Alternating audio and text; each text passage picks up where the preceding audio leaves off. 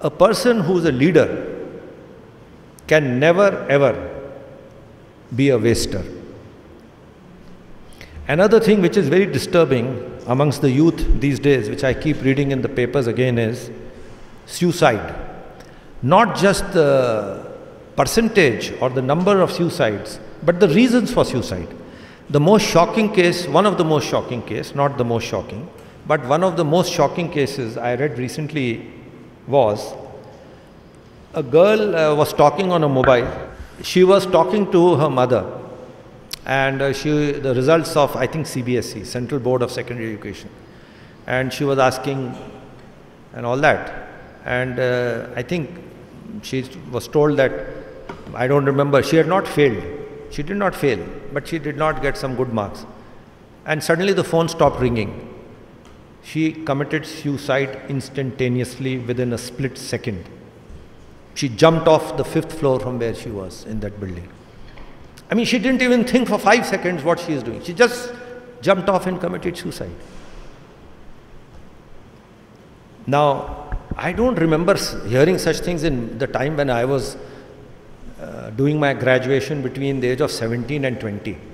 In fact, in my entire student life, if I count from, by the way, I am not a 10 plus 2, I am a 10 plus 1 because when I did my higher secondary, it was only uh, 10 plus 1, not 2. I did CBSE, Central Board of Secondary Education. I can't think of more than two cases I heard of suicide in my entire student life of six years. Suicide? 16 years, 17 years, 18 years, suicide. Never heard of it. Yes, one person I knew attempted suicide, but he luckily survived.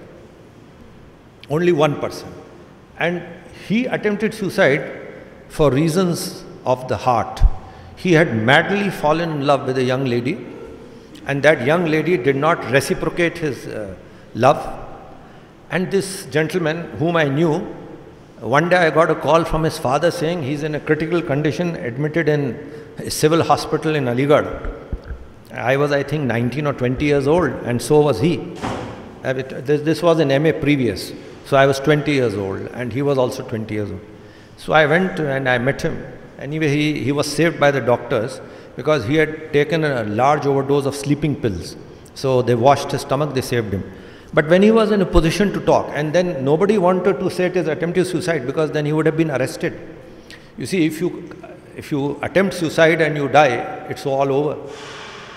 Your post-mortem will be done and you will be consigned to the Chandan ki chita or kabar. But if you survive that suicide, you will get five years jail sentence for attempting suicide under the Indian Penal Code. So uh, we suppressed that he committed suicide. It was told पेट में बड़ा मरोड़ उठा पता नहीं क्या हुआ loose motion हुए तो उसके ट्रीटमेंट हुआ वे when he had adequately recovered I asked him भाई ये आपने ऐसा हरकत क्यों की? ही सेड मोहब्बत इसी को तो कहते हैं.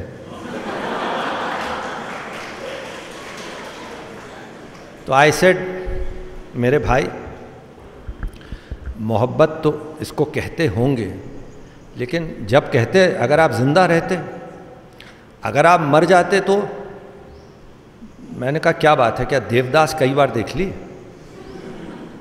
He survived and later on he has become a very successful person in life and he is a very good human being but today I do not know what is the social milieu a leader can never attempt suicide that's the point I am making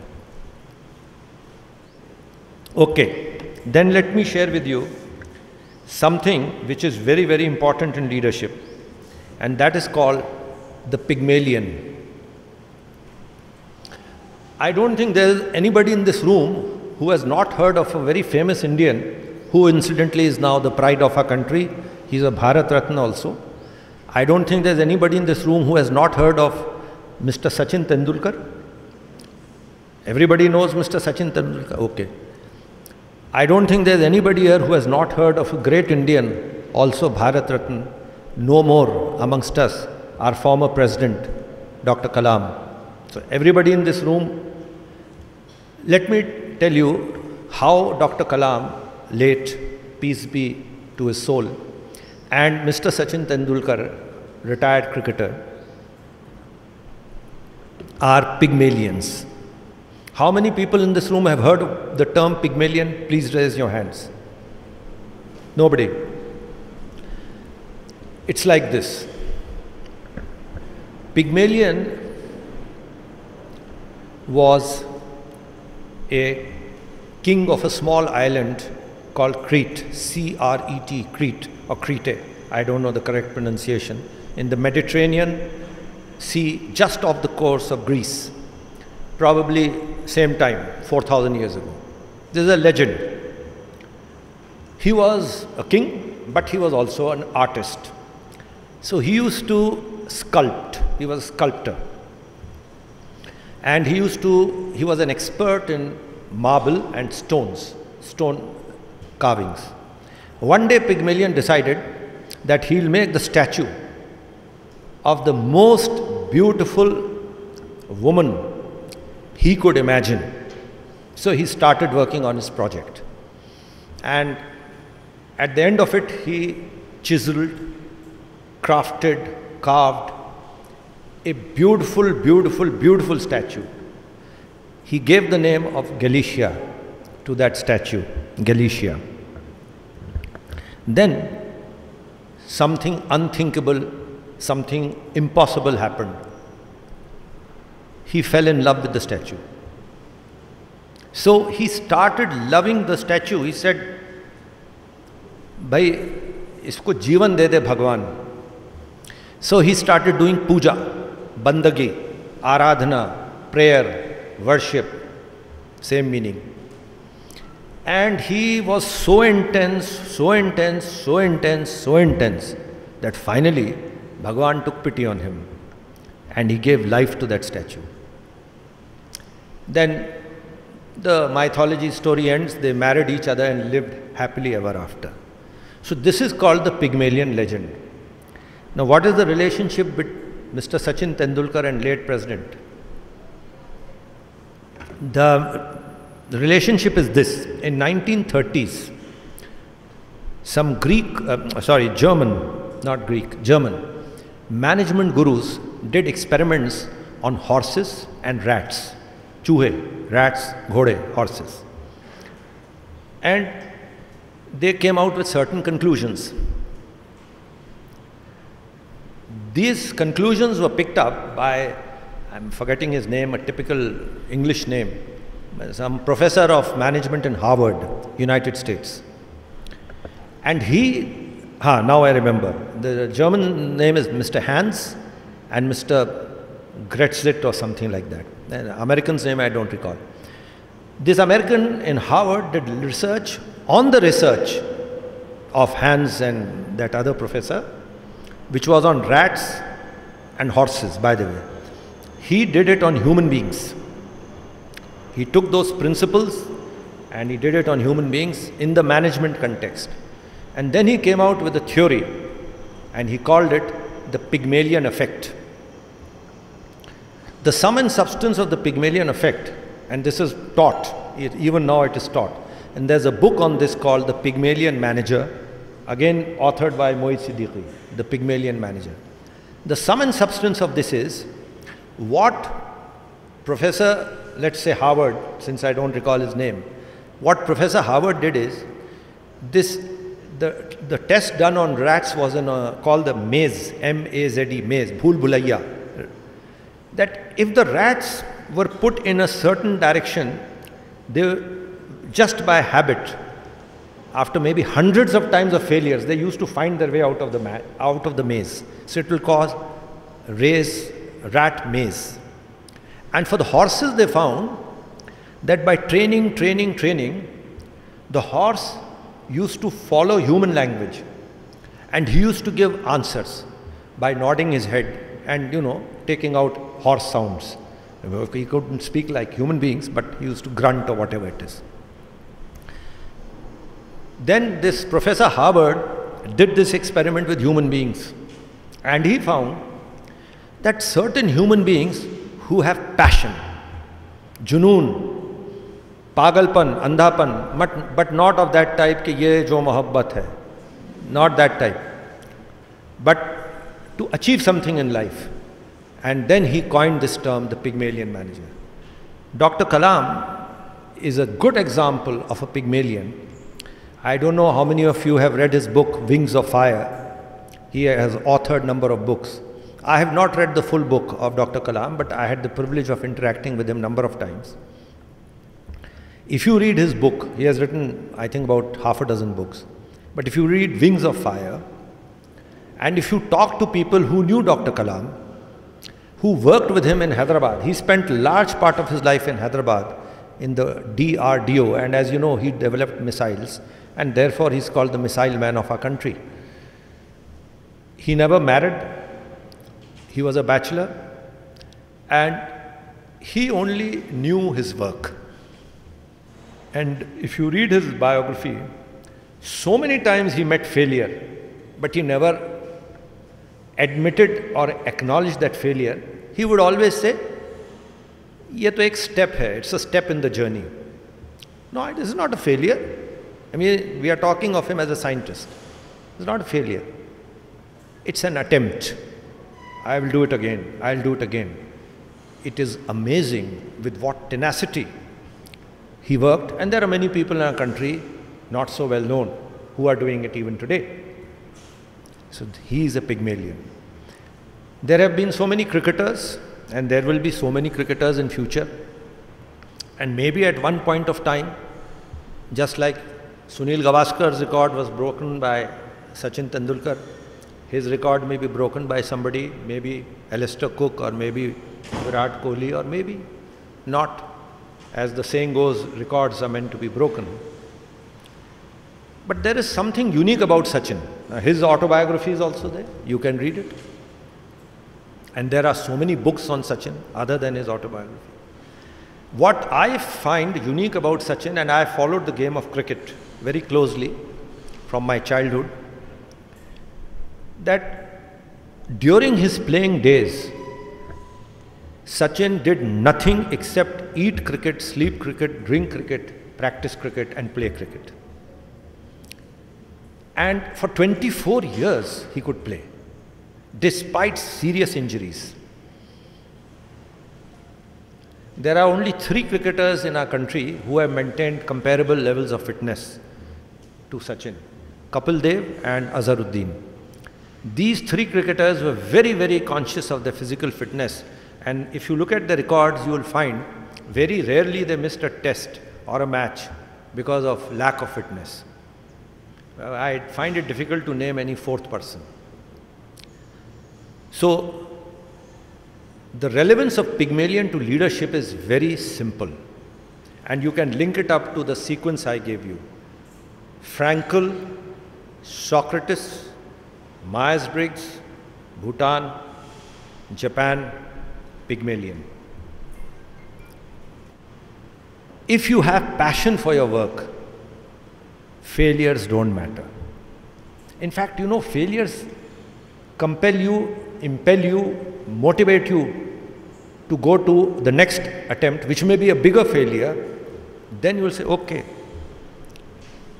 Like we say in the eastern part of our country, कह दिया तो कह दिया करके दिखाएँगे you know this is the spirit of Pygmalion एक बार कह दिया तो कह दिया करके दिखाएँगे if you look at some of our war heroes within our country, people who have got the Paramvir Chakra,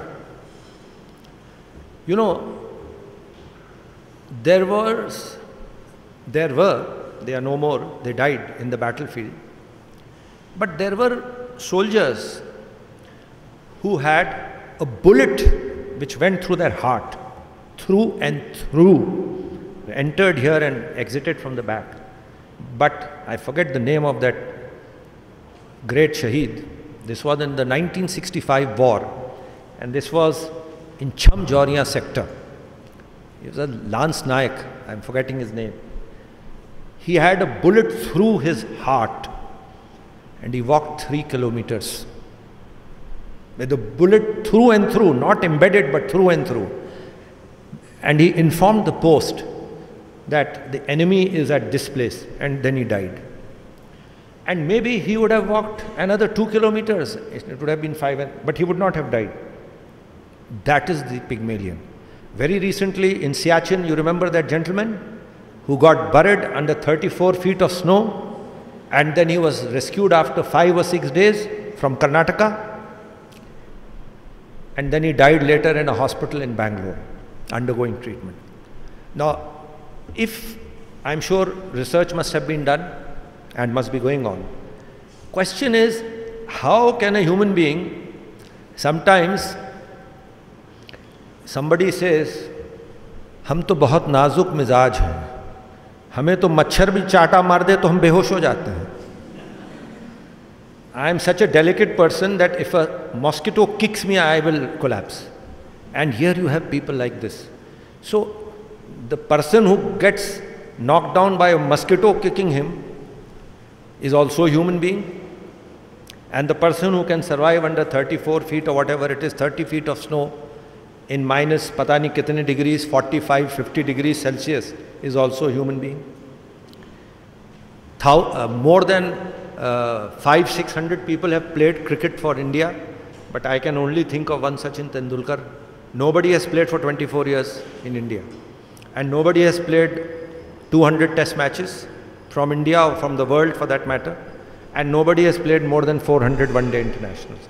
Uh, centuries and all, that record may be broken.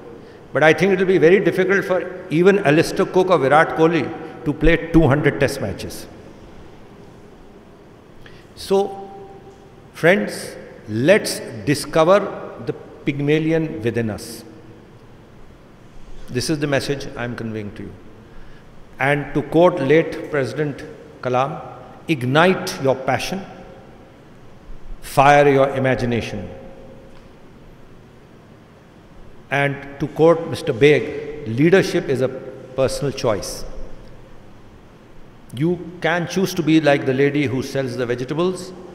You know what is the very obvious choice for a person who does not want to sell vegetables, whether he's a gentleman or a lady or anybody? Sit and beg, stand at the traffic light and beg. So when that lady did not beg at the red light, she has made a personal choice. She's a leader. And talking of beggars, somebody sent me a WhatsApp some time back. 10 richest beggars of India. Have you seen that? Anybody here? 10 richest beggars. So there is one gentleman, I don't remember his name obviously, I think he's in Mumbai. He is a big businessman. He has crores and crores and crores worth of asset. So he was asked, when you are a crorepati, why are you begging? Every day he goes now and begs for three hours.